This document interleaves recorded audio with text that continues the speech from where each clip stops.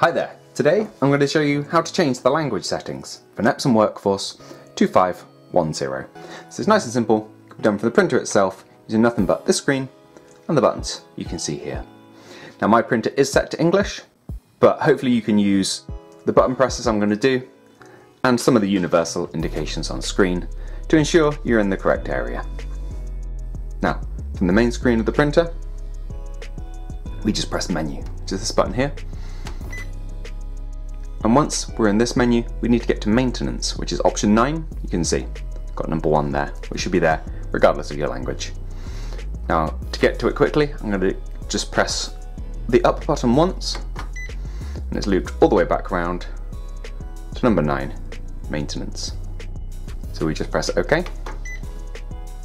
We're going to do the same trick again, just pressing up once, take us down to option 14.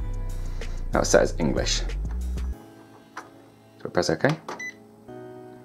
Now that little right facing arrow has changed to an up down arrow, indicating we can scroll through the options using the arrows here. So just go through until you see your native language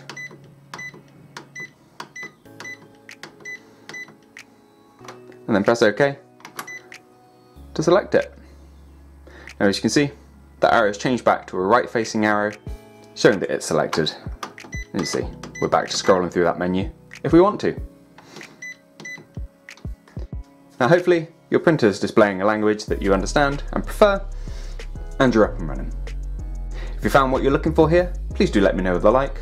If there's anything else we can help with, please do let us know down in the comments. Otherwise, thank you for watching, and we'll see you next time. Take care. Bye bye.